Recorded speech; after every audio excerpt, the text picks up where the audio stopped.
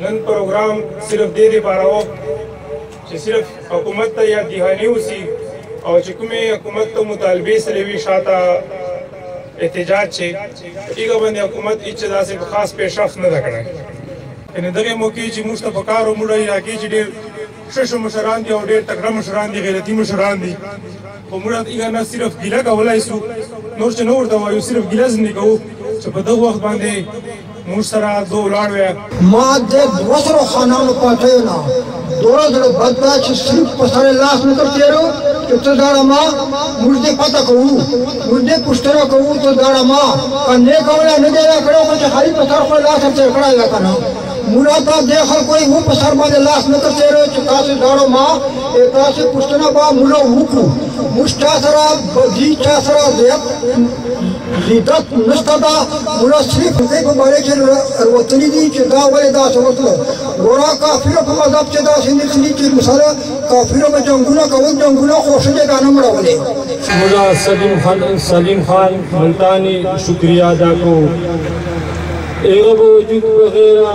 نور حسام خان وغیره ایغه ته موږ مخچې هغه چې دا مطالبه کړې وه چې ته موږ د قوم مشر یې ته موږ سره په دې شي هغه چې شرکت وکړه دا بچی چې دا دا مثال دا شو کړه نن دې هر مروت بچی دا هر سړی خور لري مور لري ورندار لري عزت لري چې کوم صحیح خپل ډیپیانې بجاو کوي کوي موږ نه بالکل لري ګډو ته وایو نو موږ مثال حکومت سره چې زیاتی خبرستا نه مو بل مثال دا شو ګرا ماکوي سره چا غستا نو به دا څنګه نه چې دې خبرې موږ صرف دا کوو چې ګوره دې چې جج صاحب اډر کړی دي چې مثال تاڼې ډډې کړې دي او له دبۍ تاڼې تر نن ورځې پورې چې غور په دوشي باندې نه ده کړی خو د پولیس کردار هدي ده هغه چې ډېر کمای ده ډېر کمای ده ډېر کمای ده پولیس کې پولیس داسې نه کوي ناجایز سره مړوي او جایز پرېږدي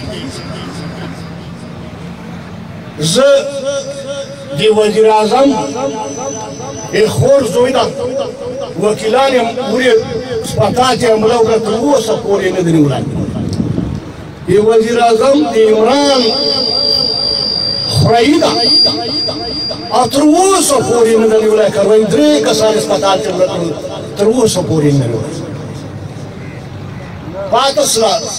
هیڅ جیتا زه دا درخواست کوم دا دا چا دا چار کړی دا یخه د قانوني کاروایی وسی وزیر اعظم ته دا درخواست کوم د ماشومې جونکۍ دې نوټس واخلي زه درخواست جج ته کوم کوسه صاحب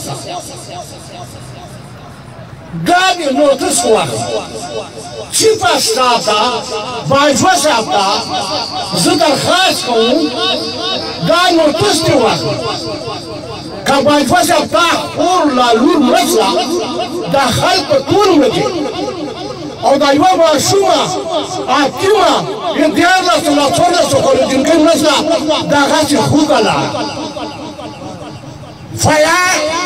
پولیس پولیس والے مر پولیس والے زخمی دا دے پولیس سے کمی نہ رائے دی دا پولیس قرآن دا دا طول خلق دا پا قرآن کیسی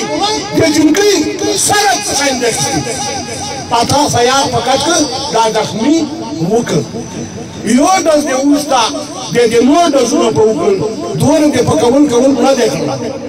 پروسه په خوله کې وه زه دا پولیس او د ایجنه دا پوښتنه کوم دا تا خور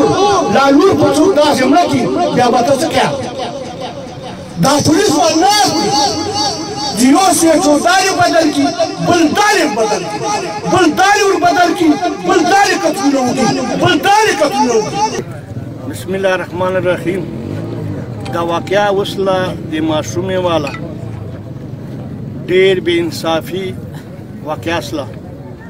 روزه په خولې وه او ډیر ظلم یې ورسره وکړ یو یې وویسته بیا بیا یې وویستله داسې په اسرائیل چې داسې نه دي سلي په هندوستان چې داسې نه دي سلي څه ده بار بار وځي نه څه ده شګرده وه نه څه شی وه څوارلسو کلو جینکۍ وه روزیا په خولې وه په تن دې مړه سره غریبه هېڅوک یې نه ور پرېږدول نه دا سړی مخرور و تین سو دو کیس وکړو د ښه سړی ورته سلنډر سه دو بیا وویسته مړې کړ زه دا پولیس دې چې سل بخې د پیسې واخستې هر سړی بازار ګرم کړی دی دی جی او پولیس ول ګرم کړی دی دا پیسې اخلي ا خلک مړوي زه دا وزیر اعظم ته درخواست کوم دغه نوټس دی واخلي دا جج تاسو کوم کوسه صاحب ته دا نوټس دی واخلي ا چیف اسټاف ته کوم باج وسه صاحب ته دا نوټس دی واخلي او دغه کاروایی دی وکړي ډي آی جي صاحب په دغه ټولو باندې دباو اچولی ده ټولو باندې دا جواب دا دی فورا بدل شي دا څه معصومه کې دکھ درد مې هم برابر کې شریک ہے اور گاؤں کې ہونے کې ناطے هم اس میں هر طریقې سے اس میں بھرپور ساتھ دیں گے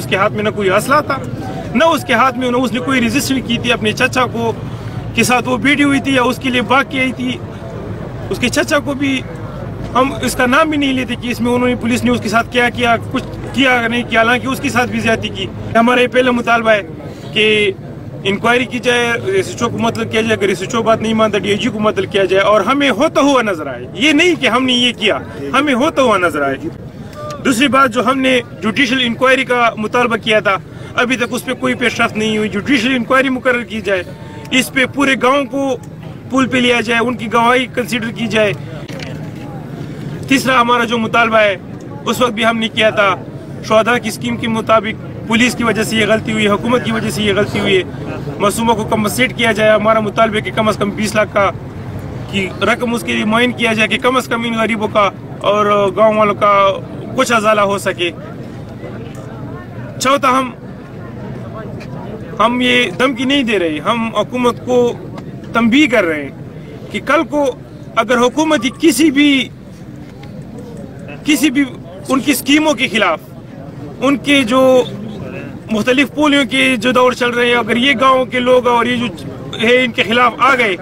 یہ لوگ اس بات پہ وہ تیاری کر رہے ہیں کہ ان کے حکومت کے خلاف ہر قسم کی ہر قسم کی